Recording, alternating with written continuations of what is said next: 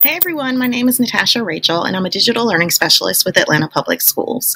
And the resource that I want to share with you for the 2018 10 Days of Resources is how to create a virtual or digital vision board. So we're getting ready to start um, 2019. We're getting ready to set our intentions for the year and really reflect on 2018 and everything that came with it and what we want to do different um, for 2019 and how we want to set the tone to move towards um, reaching goals in 2019. So this is a fantastic lesson to do at the very beginning of the school year to really get our students um, and even ourselves kind of centered and grounded for what's going to come in 2018.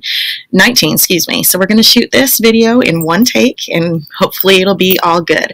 So on the screen you'll see that I've shared with you an example of what I created at the beginning of 2018 and I actually did this um, with a class of little girls. Um, I believe they were fourth grade girls at one of our elementary schools here in Atlanta Public Schools.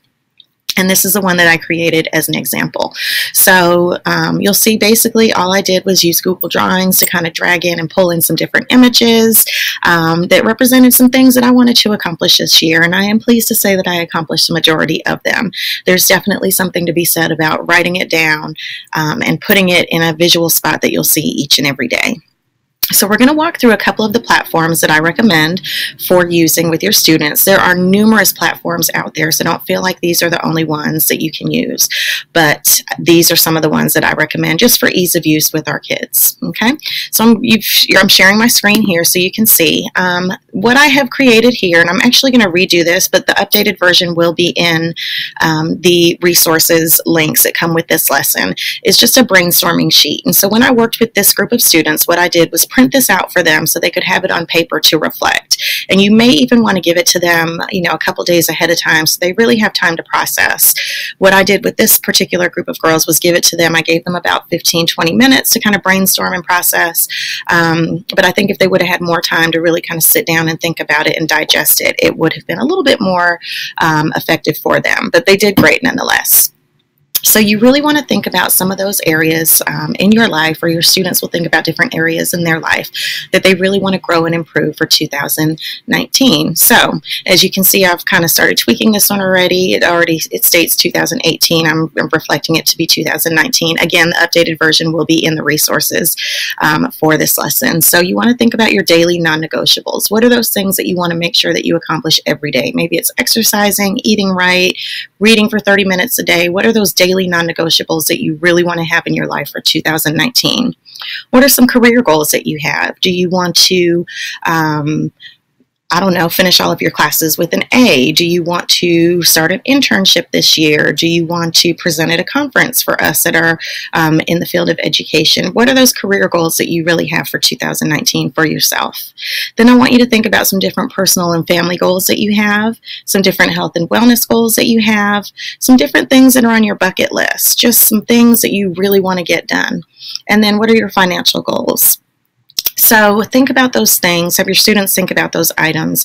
Go ahead and get them on paper. You can also do this um, digitally, um, push it out through Google Classroom, make sure every student has their own copy, and they can just type directly into that form.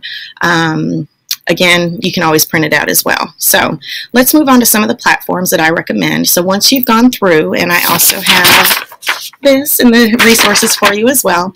Um, once you have reflected on the previous year and gone through and really decided what it is that you know worked for you last year, what didn't work, and you've then started to brainstorm using this guide here um, about what you want to accomplish this year coming up, then you're going to dive into the create phase. So these are the three platforms that I'm going to share with you to really dive into that create phase. The first one is, surprise, Google Drawings. Um, this to me is just the easiest no-brainer one. So all you'll do is go to drawings.google.com or you can access it through your um, Google Drive. And then first thing you want to do is have your students change the background color. So maybe I want to change it to a light purple.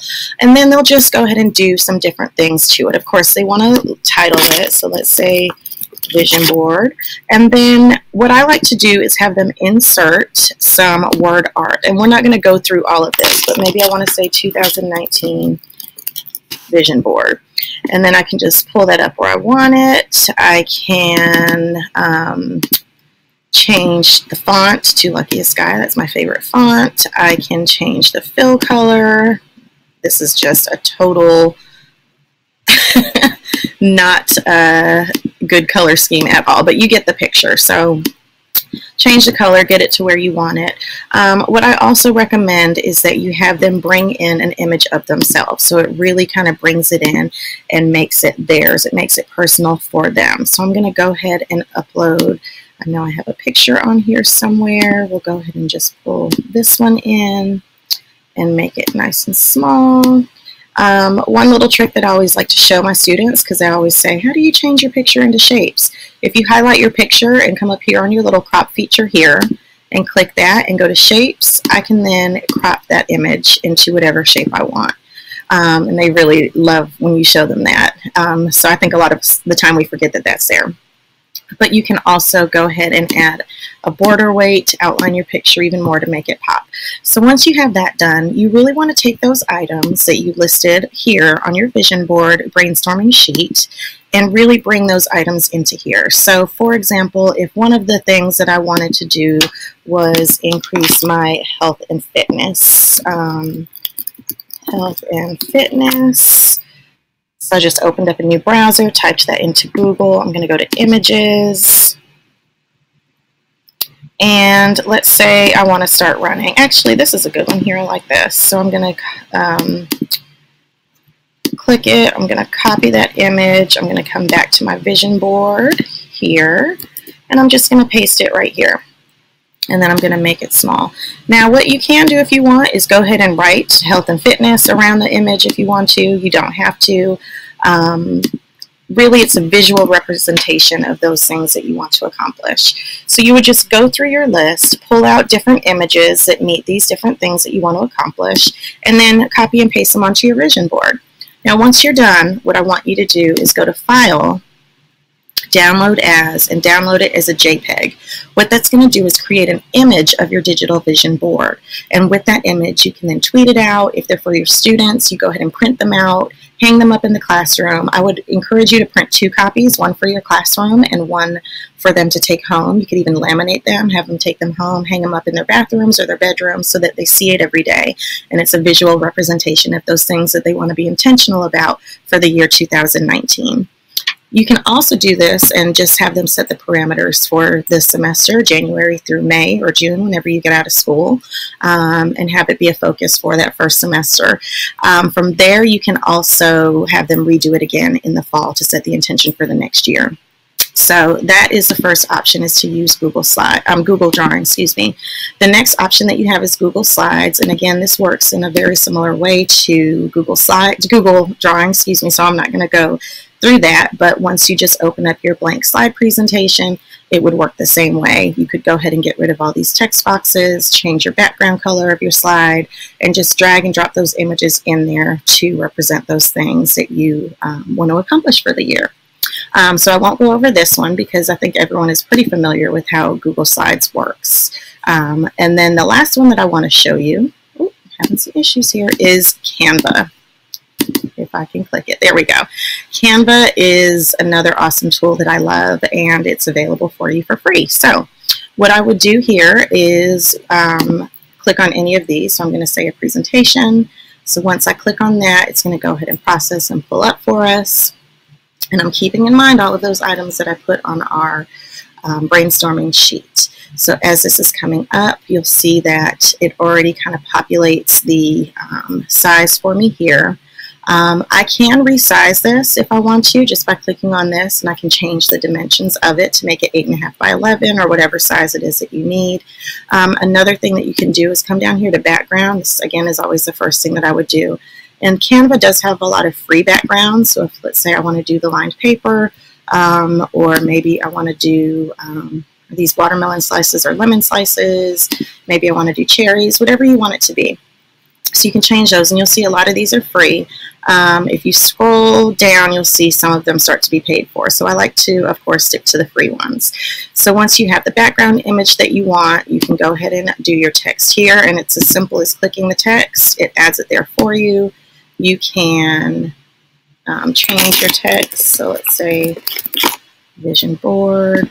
then I can move it to where I want it, drop it down. Again, go ahead and add your image, um, all that kind of thing. And they do give you some different fonts down here. Again, there are a lot of free and there are some that are paid. Another thing with Canva is that it allows you to pull in different elements. So there's free photos that are already built in here for you. So maybe for your background, you want to do a coffee um, cup. So you could stretch that out. Maybe this picture is representative of just taking some time for yourself and some time to reflect and meditate. So that might be a good image for that. Maybe this image here is for you to get outdoors and spend some time um, working out or exercising or just having some meditation time. So you'll see that you have all of these images that are here. So this is one place that you can get images for your digital vision, digital vision board. you can also type what you're looking for here. So maybe um, uh, maybe one of my things is to get good grades. You'll see again, a lot of these ones are paid.